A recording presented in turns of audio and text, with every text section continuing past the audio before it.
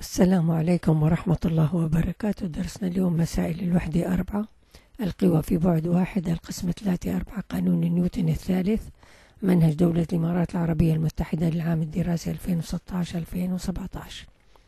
ردد شعاري المثابرة أقرأ أفهم أحفظ أطبق ومفتاح النجاح في في إيدك جيب ورقة وقلم وتابع معي الحل.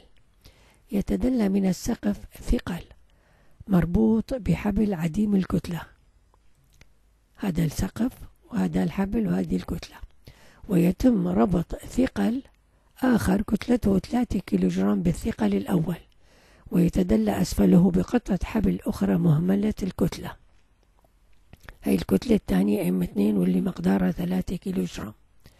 مقدار الشد في الحبل العلوي يساوي مقدار الشد في الحبل العلوي يساوي 63 نيوتن. أوجد الشد في الحبل السفلي وكتلة الثقل العلوي نرسم القوى على الشكل. هذه تمثل mg 2 هذه تمثل T 2 وهذه تمثل T 1 نطبق القانون الثاني لنيوتن على الجسم 2 القوى المؤثرة على الجسم 2 هي T 2 باتجاه محور y الموجب و mg m 2 g باتجاه محور y السالب F net وتساوي ال m في a وتساوي للصفر لأنه الجملة في حالة سكون. القوى المؤثرة على الجسم m 2 عبارة عن T 2 في اتجاه محور y الموجب فلذلك أخذت إشارة موجبة.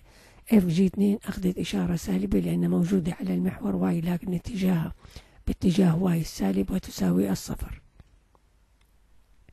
هالطريقة أفضل من إنك تقول أجمع وأطرح وإنك بتحتار مين مين تطرح من مين. بنرتب المعادلة T اثنين وتساوي Fg اثنين وتساوي ل m اثنين في g T اثنين وتساوي ثلاثة كيلو جرام ضرب تسعة وفاصلة ثمانين نيوتن لكل كيلو جرام تطلع. T اثنين تسعة وعشرين وفاصلة أربعة نيوتن هي قوة الشد في الحبل السفلي يعني هذا. الطلب الثاني حتى نحسب كتلة الثقل العلوي نطبق القانون الثاني لنيوتن على الجسم واحد. ونشوف القوى المؤثرة على الجسم واحد على هذا الجسم هي قوة الشد T واحد إلى أعلى m واحد g إلى أسفل m اثنين g إلى أسفل. F net وتساوي ل m في a وتساوي للصفر لأن الجملة في حالة سكون. القوى T واحد في اتجاه محور y الموجب فأخذت إشارة موجبة سالب Fg اثنين في اتجاه محور y السالب أخذت إشارة سالبة Fg اثنين آه في اتجاه محور y السالب فأخذت الإشارة السالبة وتساوي الصفر. أنت عم تدور على كتلة الثقل العلوي يعني الثقل العلوي موجود بهذه الكمية. لذلك بننقل هذه مع إشارته لعند الصفر بتصير بالموجب. في بيصير عندك Fg واحد بيساوي T واحد ناقص Fg اثنين.